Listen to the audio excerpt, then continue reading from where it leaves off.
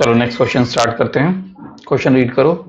The network shown below is a part of a complete circuit if a current of 5 ampere is flowing through it it is decreasing at the rate of 10 to the power 3 ampere per second. Then magnitude of potential difference between the point p and q will be. तो सबसे पहली बात potential difference निकालना है P और Q के बीच में। तो इसलिए हमें यूज़ करना होगा voltage drop equation voltage drop equation इसे आप बोल सकते हो लीनियर किरचॉफ लॉ भी बोल सकते हो। ठीक है? अब इसमें सबसे इंपॉर्टेंट चीज़ ये आर दी हुई है।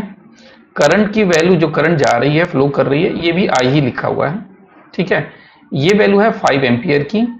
ठीक है, ये टर्मिनल पोटेंशियल डिफरेंस दिया हुआ है सेल का, ठीक है, और ये कोफिशिएंट ऑफ़ सेल्फ इंडक्टेंस इसकी वैल्यू मिली हेनरी में दी हुई है, इसको हेनरी में कन्वर्ट करो ten to power minus three S I में कन्वर्ट कर लिया हमने, और जो करंट डिक्रीज कर रही है D I by D T की वैल्यू ये दी हुई है तो D I by D T जो है, बोल रहा है क्वेश्चन में डिक्रीज कर रही है, इसका मतलब minus ten to power three ampere per second होगा।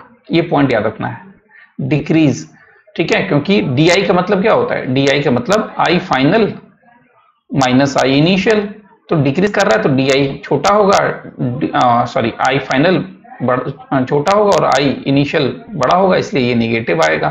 इसी वजह से ये निगेटिव है। अच्छा अब शुरू करते हैं लीनियर लॉ या वोल्टेज ड्रॉप इक्वेशन लिखते हैं।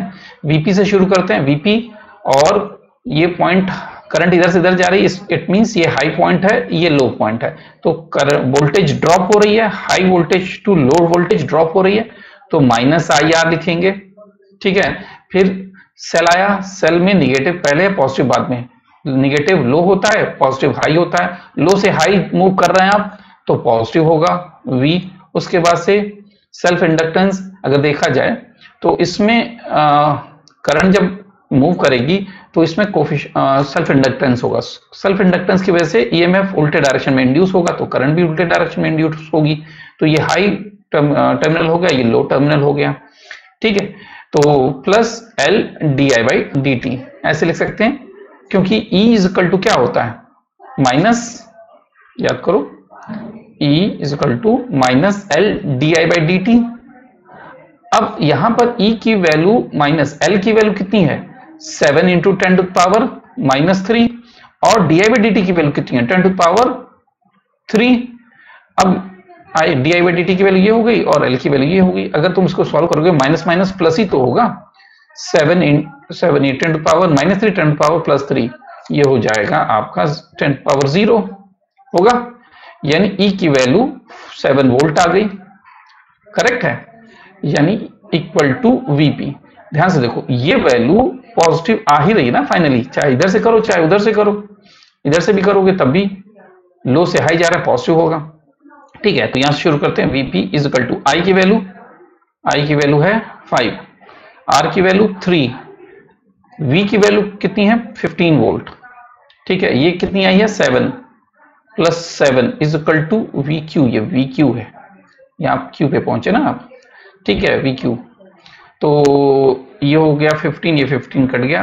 Vp plus seven is equal to V Q it it means V Q is greater than Vp Vq is greater than Vp तो आप इसको लिख सकते हो इस इक्वेशन को। V Q minus V P is equal to seven volt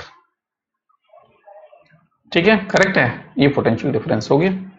logic clear ठीक है? चलो नेक्स्ट क्वेश्चन करते हैं।